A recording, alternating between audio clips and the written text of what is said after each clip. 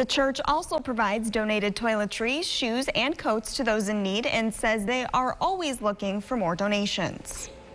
Another faith celebrating Passover today. The Jewish people remembering their exodus in Egypt. I spoke with a rabbi earlier who says the pandemic mirrors that in a way.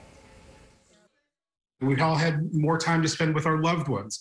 Uh, individually, I've had way more time to take walks in the neighborhood than I would have had before. Um, way more meals with my kids than I ever imagined before.